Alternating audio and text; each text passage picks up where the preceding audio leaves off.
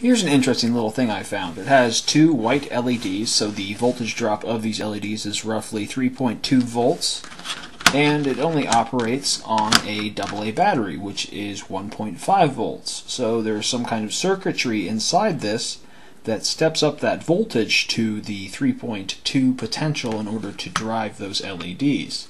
So I'm going to open that up and see what kind of circuitry they use. Okay, so here's the circuit board. It's quite small. I can see a transistor on the back here, and it looks like a inductor on the other side. So I'm going to take out these screws next. And would you look at that? There's just one inductor and one transistor. So I'm going to take a look at this circuit and draw out a schematic for you. Alright, so here's the schematic. I'm not sure if this is a P channel or an N channel transistor and I determined that this would be the gate, source, and drain because that's how it's connected with the typical pinout configuration of the SOT23 in transistor formation. Uh, so here you are with the gate, the source, the drain, and the inductor goes from the gate to the source, and then the LEDs are attached to the source, the drain, and to the battery. This is just the switch that turns it on and off. So I'm going to need to take the SOT23 out of the circuit to determine what kind of transistor it is. I assume it's a MOSFET or a FET because the gate appears to be attached directly to the positive of the battery and the drain directly to the negative of the battery. So if that was a BJT, that base would have burned up a long time ago. So I need to yank this from the circuit and we'll see what we have.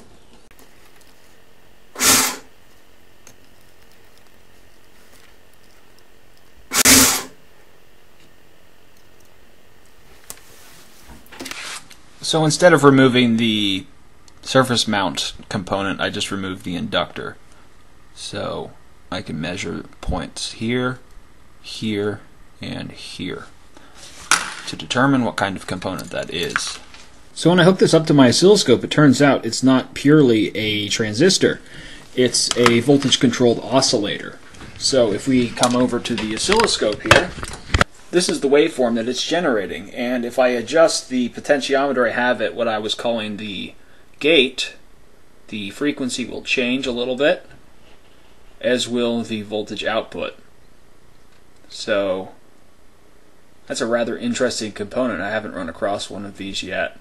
So, as this thing oscillates, it shuts off rather quickly. You can see here it is ramping up to turn on. That's a rather slow shift, but when it turns off, that's pretty rapid. If I zoom up to 50 nanoseconds per division, you can see that's uh, a shut-off time of 100 nanoseconds. So when that shuts off, the inductor refuses to change its current, so it will increase its voltage, and that voltage will get up to the point to break over with the white LED. So that's how that circuit works. Very cool.